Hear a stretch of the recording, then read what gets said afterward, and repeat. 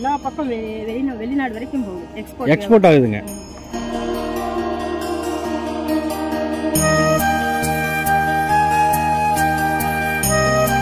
நம்ம ஒரு கிராமமே வந்து பண்ணுதுன்றாங்களே அது எப்படின்னா?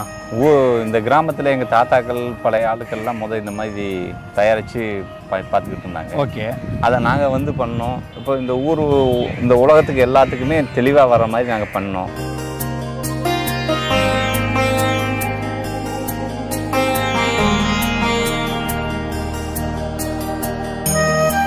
வந்து வெண்டைக்காய் வத்தல் இல்லைங்களா? ஆமாம், ஆமாங்க. ஸோ இதனுடைய ப்ராசஸ் டேட்டில் எவ்வளோ நாள்லேருந்து எவ்வளோ நாள் வரைக்கும் ஆகுண்ணா ஒன் இயர் வரைக்கும் அப்படியே இருக்குங்கண்ணா ஒரு வருஷம் ஒரு வருஷத்து வரைக்கும். ஓகே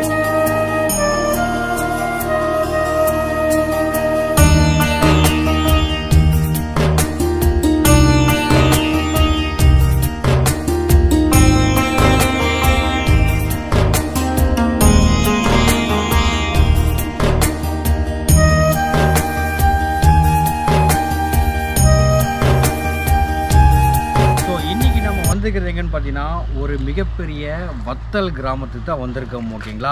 ஸோ இங்கே பார்த்தீங்கன்னா அதாவது நம்ம ஏற்கனவே நம்ம பார்த்துருப்போம் வீட்டில் ஒன்று வத்தல் செஞ்சுருப்பாங்க இல்லைன்னா வந்து ரோட்டில் கம்மங்கூழ் குடிக்கிற இடத்துல வத்தல் நிறைய வத்தல் வச்சுருப்பாங்க இல்லைங்களா?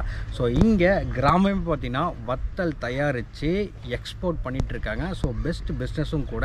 ஸோ ஸ்கிப் பண்ணாமல் வாட்ச் பண்ணுங்கள் இந்த இங்கே இந்த இடத்துல என்னென்ன மாதிரி வத்தல் பண்ணுறாங்க அது போக பார்த்தீங்கன்னா எப்படி எக்ஸ்போர்ட் பண்ணுறாங்க நம்ம எப்படி பிஸ்னஸ் பண்ணலாம்? எல்லாமே நம்ம கேட்டு தெரிஞ்சுக்கணும். ஸோ ஸ்கிப் பண்ணாமல் வாட்ச் பண்ணுங்கள் இதுக்கு முன்னாடி நம்ம சேனலை நீங்களும் சப்ஸ்கிரைப் சப்ஸ்கிரைப் பண்ணிங்க பக்கத்தில் இருக்கிற பெல் சொன்னீங்க. வாங்கடிக்க போகலாம்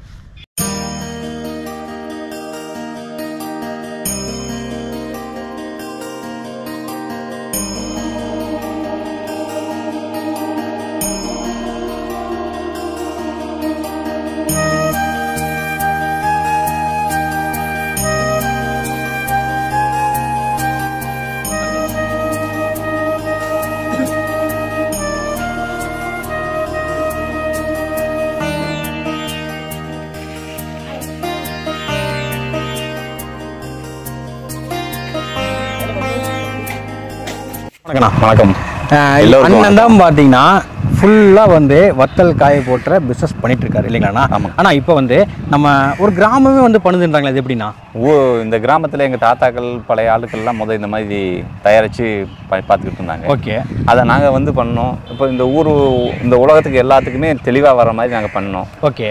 அப்போ அவங்க ம தொழிலும் விரிவடைஞ்சிருச்சு. இங்கே இருக்க மக்களுக்கு நல்ல வாழ்வு கிடைச்சிருக்குது. எக்ஸ்போர்ட் ஆகுதுன்னு சொல்கிறாங்களே எக்ஸ்போர்ட்டுக்கும் போகுது லோக்கல் இருக்கும் வாங்குறாங்க. எல்லா எல்லா இந்த மக்க எல்லா இடத்துக்கும் ருசி தெரிகிற இடத்துல எல்லாம் வாங்க ஆரம்பிச்சிருக்காங்க. கண்டிப்பாக ஒரு வீட்டில் செய்கிற வத்தலுக்கும் இங்கே செய்கிற வத்தலுக்கும் என்னென்ன டிஃப்ரெண்ட் இருக்குது வீட்டில் செய்கிற மெத்தேடே நாங்கள் பெருசாக செய்கிறோம் ஓகே இங்கே வீட்டில் என்ன ஒரு ஆள் இருந்தால் போதும். இங்கே ஒரு இருபத்தஞ்சு ஆள் முப்பது ஆள் ஐம்பது ஆள் அப்படி ஆட்கள் நிறைய தேவை இருக்கிறாங்க. செய்கிறோம். வீட்டில் என்ன மெத்தேடில் தயாரிக்கிறோமோ அதே மெத்தேடில் நாங்களே தயாரித்து கொடுக்க ஆரம்பிச்சிட்டோம் என்னென்ன வத்தல் வகைகள் இருக்குங்கண்ணா? மோர் மிளகா சுண்ட வத்தல் கொத்தவரங்காய் வத்தல் கத்திரிக்காய் வத்தல் மாங்காய் வத்தல் பாவக்காய் வத்தல் மணத்தக்காளி வத்தல் மிதுக்கு வத்தல் நார்த்தங்காய் வத்தல். மொத்தம் வந்து பத்து பதினஞ்சு வெரைட்டி பாஞ்சு வெரைட்டிஸ் எப்பவுமே இங்கே ரெடியாகவே ஸ்டாக்காக இருந்துகிட்டே இருக்கும் ஸ்டாக் இருந்துக்கிட்டே இருக்கும். வருஷம் பூரா தயாரிச்சுக்கிட்டே இருக்கிறோம். ஓகே மழை காலத்தில் மட்டும் ஒரு ரெண்டு மூணு மாதத்துக்கு எங்களால் அது ஏற்கனவே ரெடி பண்ணி வச்சதை கொடுத்து மழை காலத்துக்கு முன்னாடியே வந்து நம்ம ரெடி பண்ணி ரெடி வச்சிருக்கோம் பண்ணி வச்சிருப்போம். அதை எடுத்து கொடு- கொடுப்போம். எல்லாம் பற்றாக்குறை இல்லாமல் கொடுத்துக்கிட்டே இருப்போம். ஓகேண்ணா இப்போ நம்ம சேனலில் சப்ஸ்கிரைபர்ஸ் இருக்காங்க இல்லைங்களா? அவங்க வந்து ஒரு புது தொழில் தொடங்கணும்னு நினைப்பாங்க. சரிங்க. ஸோ இந்த வத்தல் பிஸ்னஸில் நம்ம இறங்கினோம்னா புதுசாக இறங்கினோம்னா எந்த அளவுக்கு நமக்கு வந்து லாபம் கிடைக்கும்னா? இது எல்லா அது புதுமையாக இருக்கு இல்லைங்களா? இல்லை இந்த தொழிலில் வந்து எல்லா தொழிலுமே நல்ல தொழில் தான். இந்த தொழில் தொடங்கணும்னா பொறுமை இருக்கணும். முதலீடு இருக்கணும். இப்போ எல்லா தொழில்னா இன்னைக்கு ஒரு பொருளை வாங்கினோம்னா நாளைக்கு விற்றோம் ஒரு ரூபா கிடைச்சுன்னு போயிடலாம். ஆனால் இந்த தொழிலை பொறுத்தளவு இருபத்தஞ்சு நாள் காத்திருக்கணும். எதனால்? இப்போ அந்த பச்சை மிளகாயை வந்து மோர் மிளகாயை மாற்றணும் ஓகே ஓகே. பச்சை மிளகாயை வாங்கி ஓட்டை போட்டு மோர் உப்பில் ஊற வச்சு ஊற வச்சு எடுத்து அதை நல்லா வறுக்கிற பதத்துக்கு காய வச்சு அப்புறம் எடுக்கணும்னா இருபது நாள் குறைஞ்சபட்சம் ஆகுது. மழை காலம்னா ரெண்டு மாதம் கூட ஆகுது. ஆனால் மோ இப்போ எப்படி குறைஞ்சபட்சம்னாலும் இருபது நாள் ஆகுது.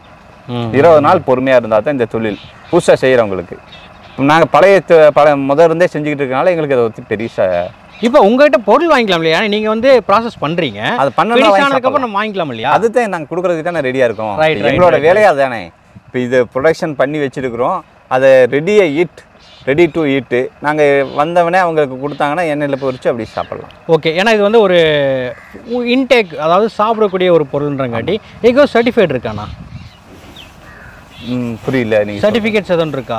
சர்டிஃபிகேட் ஃபுட் சேஃப்டி இது கொடுத்துருக்கோம் நம்ம மற்றபடி மாசு கட்டுப்பாடு அதிகாரி கிட்ட சான்று வாங்கியிருக்கிறோம். ஓகே. பேரூர் வச்சியில் அனுமதி எல்லாம் அனுமதி வாங்கி முறையாக வந்து எல்லாம் முறையாக அனுமதி வாங்கி தான் செஞ்சுக்கிட்டு இருக்கோம். ரைட் ரைட் எல்லாத்துக்கிட்ட அனுமதி இல்லாமல் எந்த தொழிலும் இங்கே பண்ணுறது இவ்வளோ தூரம் நம்ம நிறைய பேசிட்டோம். ஆனால் இந்த இடம் எங்கே இருக்குன்னு சொல்ல நம்ம பேர் சொல்ல. அதாவது இது ஒட்ட ஒட்டஞ்சத்திரம் பக்கத்தில் போலியம்மனூர் அப்படிங்கிறது தான் எங்கள் ஊர். சரிங்க. என்னோட பேர் வந்து கோபி. ஆர்எஸ் காட்டேஜ் இண்டஸ்ட்ரீஸ்னு தொழில் பண்ணிக்கிட்டு இருக்கோம். ஓகேண்ணா ஓகேண்ணா ஓகேண்ணா. ஸோ இதை ஒன்று நம்ம மக்கள் வந்து கேட்டாங்கன்னா உங்கள் நம்பர் நம்ம கீழே கொடுத்துடலாமா? கொடுத்துருங்க. என் நம்பரை கொடுத்தீங்கன்னா நிறைய பேர் கேட்குறது என்னன்னா வெறும் வீடியோ மட்டும் போடுறீங்க. எங்கே இருக்குன்னு தெரிஞ்சாதான் நாங்கள் வர முடியும் அப்படின்னு சொல்லி கேட்குறாங்க அதனால என்னோட நம்பரை தயவு செய்து எல்லாம் அந்த டிஸ்பிளேல கொடுத்தீங்கன்னா. அவங்க என்னோட காண்டாக்ட் பண்ணி அவங்களுக்கு தேவையான பத்து பேர்த்துக்கு சொல்லலாம். நல்ல எந்த விதமான கெமிக்கல் நாங்கள் சேர்த்துறது இல்லை இந்த பொருளில் வந்து கெமிக்கல் கிடையாது. நேச்சுரலாக என்ன இருக்குதோ அப்படியே தயாரிக்கிறோம். உப்பு ரொம்ப குறைஞ்சு போட்டு முதல்ல வந்து உப்பு அதிகம் போட்டு தயார் பண்ணிக்கிட்டு இருந்தாங்க. அதெல்லாம் நாங்கள் மாற்றி உப்பு ரொம்ப கம்மியாக போட்டு மக்கள் சாப்பிட்ற அளவில் கொண்டு வந்துட்டோம். எங்கள் கம்பெனி ஆர்எஸ் காட்டேஜ் இண்டஸ்ட்ரீஸில் வாங்குற பொருள் பூராமே உப்பு கம்மியாக இருக்குங்கிறது நாங்கள் கேரண்டி தரோம். ஓ இதில் உப்பு அதிகமாக உப்பு உப்பு அதிகம் போட்டு முதல் தொழில் பண்ணி கெட்டதுக்கு அதாவது வந்து தொழில் பண்ணி ஃபர்ஸ்ட் வந்து உப்பு உப்பு அப்படிங்கிற ஒரு பேர் கம்ப்ளைண்ட் ஆயிடுச்சு. இப்போ எங்களோட பொருள் ஆர்எஸ் காட்டேஜ் இண்டஸ்ட்ரீஸில் நாங்கள் தயாரிக்கிற பொருள் பூரா மக்கள் சாப்பிட்ற மாதிரி பத்து ரூபா கூட இருந்தாலும் நல்ல உப்பு இல்லாத பொருளாக தயாரித்து கொடுக்க ஆரம்பிச்சிட்டோம். அதுலேருந்து எங்கள் பொருளுக்கு வந்து நல்ல வரவேற்பு கிடைக்குது மக்கள்கிட்ட. ஓ. மூணு நாள் ஊறணுங்களா. என்னென்ன போட்டிருக்க ஊறதுக்கு இதுக்கு? ஒன்றுமே இல்லை. வெறும் சால்ட்டு உப்பு தண்ணியை கரைச்சி தான் ஊற்றுவோம் ஓ. சால்ட் வாட்டர் சால்ட் வாட்டர் ம். மூணு நாள் ஊறணும் அதுக்கப்புறம் வந்து காயணும். ஆமாம் அள்ளி போட்டு காயறது அவ்வளோதான் சரிக்கா. இது இந்த இதெல்லாம் எப்படி தரம் பிரிப்பீங்களா? இல்லை இல்லை இல்லை. ம் சுண்டைக்காயெல்லாம் அப்படியே தான். அப்படியே போடுறது? தான் அங்கே க்ளீன் பண்ணி ஆ. இது மாதிரி குச்சி குப்பையெல்லாம் இருக்கும். அதெல்லாம் எடுத்துடுறது. அதெல்லாம் அங்கே க்ளீன் பண்ணி கொண்டு வந்து தான் இங்கே உர வைப்போம். இதை சரிக்கா. காஞ்ச பின்னாடி திரும்ப ஒருக்க க்ளீன் பண்ணுவோம். ஓகே. எங்க உங்ககிட்ட வியாபாரிகள் எங்கெங்க இருந்தெல்லாம் வந்து வாங்கிட்டு போறாங்கக்கா? எல்லா பக்கம் வெளி வெளிநா வெளிநாடு வரைக்கும் போகுது. எக்ஸ்போர்ட் எக்ஸ்போர்ட் ஆகுதுங்க. ஸோ நம்ம ஊர்ல சிறு வியாபாரிகள் வந்து வாங்குறாங்க. ஆ வாங்குறாங்க. சரிக்கா சரி எல்லாமே ஹோல்சேல் ரேட் தான் இல்லைங்களா? எல்லாமே ஹோல்சேல் ரேட் இதெல்லாமே வந்து ஃபினிஷிங் அதாவது ப்ரொடக்ஷன் முடிஞ்சது. ஆமாங்க. எல்லாமே தயாரித்து கொண்டு இங்கே வச்சுருக்கோம். ஓகேண்ணா சேஃப்டி பண்ணி வச்சுருக்கோம். இங்கேருந்து தான் நம்ம சேல்ஸுக்கு போகுது. சேல்ஸுக்கு ஆமாம் ஓகே இது என்னங்கண்ணா இது? இது மோர் மிளகா மோர் மிளகாய். ஆமாங்க ஓகே ம். இது முடிஞ்சு இல்லைங்களா? ப்ராசஸ் முடிஞ்சது. ப்ராசஸ் முடிஞ்சு எண்ணெயில் போட்டு பொரிக்கிற அளவில் வந்துருச்சு. இனி சாப்பிட்லாம். சாப்பிட்லாம் அவ்வளோதான் ஃபினிஷிங் ஸ்டேஜ் இதெல்லாம் இப்போ கிலோ என்ன ப்ரைஸ் வருதுங்கண்ணா? கிலோ வந்து இன்னைக்கு விலை வந்து நூற்றி நூறுரூவா. ம் அது அனுசரிச்சிருக்கு. நூறு நூற்றி அஞ்சு இது பாவக்காய் பாவக்காய் வத்தல். ஆ. இது எப்படி? ம். இது கிலோண்ணா? கிலோ இரநூத்தி எழுபது ரூபாய்ங்க. இரநூத்தி எழுபது ரூபா பாவக்காய் வத்தல். அடுத்ததுங்க? வெண்டிக்காய். வெண்டைக்காய். வெண்டைக்காய். சுண்டைக்காய் பார்க்குறீங்களா? காட்டுங்க. ம். சுண்டைக்காய். சுண்டைக்காய். ஓகே. இதெல்லாமே கம்ப்ளீட் ஆகி முடிஞ்சு Cleaning. ரெடியாக இருக்கிறது. ஆமாம் சூப்பர்ண்ணா. அடுத்ததுங்க வெண்டைக்காய். வெண்டிக்காய். வெண்டைக்காய் வத்தல். இப்போ இது வந்து வெண்டைக்காய் வத்தல் ஆமாம், ஆமாங்க. ஸோ இதனுடைய ப்ராசஸ் டேட்டில் எவ்வளோ நாள்லேருந்து எவ்வளோ நாள் வரைக்கும் ஆகுண்ணா? ஒன் இயர் வரைக்கும் அப்படியே இருக்குங்கண்ணா ஒரு வருஷம் ஒரு வருஷத்து வரைக்கும். ஓகே. அதுக்குள்ளே அளவாக தானே பண்ணுறோம் ஆமா, ஆமா. வித்துரும் அப்புறம் ஃப்ரெஷ்ஷாக பண்ணிக்கிட்டே இருப்போம். ஓகே. சூப்பர். ஆனால் இது செய்யக்கூடிய நாள் வந்து எவ்வளோ நாள் ஆகும்? நீங்கள் வந்து ப்ராசஸ் பதினஞ்சு நாள் குறைஞ்சது எந்த ஐட்டம் பண்ண முடியுது இல்லை இதில் எல்லாமே வந்து பாஞ்சு நாள் தான் பதினஞ்சு? நாள் ஆகுது. ஓகே. அடுத்து வந்து மணத்தக்காளி இல்லைங்களாண்ணா ஆமாங்க. மணத்தக்காளி. மொத்தம் பத்து பன்னெண்டு வகை இருக்க மாட்டேங்குதுங்க? ஆமாங்க. இருக்கிறது எல்லாத்தையும் உங்ககிட்ட காமிக்கிறேன். இப்போ இன்னொரு விஷயம் எல்லாம் மக்களுக்கு போய் ரீச் ஆகட்டும். இப்போ இதோடைய ரா மெட்டீரியல்ஸ்ல எங்கே எடுக்கிறீங்க? இது உத்தரப்பிரதேசத்துலேருந்து வருது. ஓ.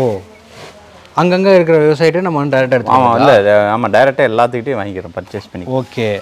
அப்போ இந்த வீடியோ மூலியமா நம்ம ஒரு விவசாயி பார்த்துட்டு எங்ககிட்ட இது இருக்கு கத்திரிக்காய் இருக்கு நாங்கள் வெண்டைக்காய் வாங்கிக்குவோம். வாங்கிக்கலாம். எல்லாம் வாங்கிக்கலாம். ஓ ரெண்டு விதமா யூஸ் ஆகுது எல்லாத்தையுமே செஞ்சுக்கலாம். சூப்பர் மணத்தக்காளி. ம். இதெல்லாம் வகுத்து பொண்ணுக்கு ரொம்ப நல்லது. கண்டிப்பாக கண்டிப்பாங்கண்ணா. ஆமாம். மணத்தக்காளி. இது கிலோனா கிலோ இரநூத்தி ஐம்பது. இரநூத்தம்பது. ஆமாங்க. ஸோ இப்போ மார்க்கெட்டில் உங்ககிட்ட இரநூத்தம்பது மார்க்கெட்டில் போயிட்டு இருக்க ப்ரைஸ் அவங்க ஒவ்வொருத்தரோட எண்ணங்களை பொறுத்து தானே. இப்போ ஒருத்தர் இரநூத்தறுபது ரூபாய்க்கு விற்கலாம் ஒருத்தர் முந்நூறுரூவாய்க்கு விற்கலாம் அவங்க இஷ்டம். ஆனால் பொருளுக்கு குவாலிட்டியாக கொடுக்க வேண்டியது எங்கள் கடமை? ரைட் அவங்க லாபத்தை விற்க வேண்டியது நாங்கள் சொல்லறது இல்ல அவங்க என்ன பத்து ரூபா ஒருத்தர் ஜாஸ்தி விற்கலாம் பத்து ரூபா சில பேர் வந்து சின்ன சின்ன பவுச் பேக். எப்படி வேணாலும் விற்கிறாங்க. ஆனால் எங்கள்கிட்ட இருக்கிற பொருளில் வந்து நாங்கள் குவாலிட்டி கொடுத்துறோம் அவங்ககிட்ட. நூற்றுக்கு தொண்ணூறு பர்சன்ட் எல்லா பிஸ்னஸும் நாங்கள் கொடுக்கறனால அவங்க ஒரு ஓரளவுக்கு லாபம் வச்சு கொடுத்துறாங்க. குவாலிட்டியாக கிடைக்கிறனா மக்களும் அது சரின்னு சொல்லி ஏற்றுக்கிட்டு வாங்கிட்டு தான் இருக்காங்க. இப்போ பார்த்தீங்கன்னா ரெண்டு விதமாக இந்த வீடியோ வந்து யூஸ் ஆகுது. ஒன்று வந்து பார்த்தீங்கன்னா விவசாயிகள் விவசாயிகளுக்கு நல்ல யூஸ் இன்னொன்று வந்து ஒரு தொழில் தொடங்கணும். புதுசாக வந்து ஒரு வத்தல் தொழில். அதாவது நூற்றி ஒன்று நூற்றி ரெண்டாவது தொழிலாக இல்லாமல் முதல் தொழிலாக இருக்கும். இந்த தொழில் தொடங்குறது அதாவதுங்க தொழில் தொடங்குறது விவசாயிகளுக்கு நல்ல லாபம். விவசாயிகளோட பொருட்கள் வந்து மதிப்பு கூட்டப்பட்டு நம்மகிட்ட வந்துடுது அப்போ அவங்களுக்கு எந்த பொருளுமே வேஸ்ட் இல்லாமல் நல்லபடியாக எங்ககிட்ட வந்து சேர்ந்துடுது கண்டிப்பாக அண்ணன் நீங்கள் கான்டாக்ட் பண்ணலாம். அதாவது விவசாயியாக இருந்தாலும் கான்டாக்ட் பண்ணலாம். உங்கள் product வியாபாரியா இருந்தாலும் பண்ணலாம். வியாபாரியாக இருந்தாலும் கான்டாக்ட் பண்ணலாம். ஓகேங்களா? ஸோ கான்டாக்ட் பண்ணி கேட்டுக்குங்க. மற்றபடி இந்த வீடியோ பிடிச்சா லைக் பண்ணுங்கள் ஷேர் பண்ணுங்கள் மறக்காம நம்ம சேனல் சப்ஸ்கிரைப் பண்ணுங்கள் நெக்ஸ்ட் ஒரு சூப்பரான வீடியோ சந்திக்கிறேன். By bye friends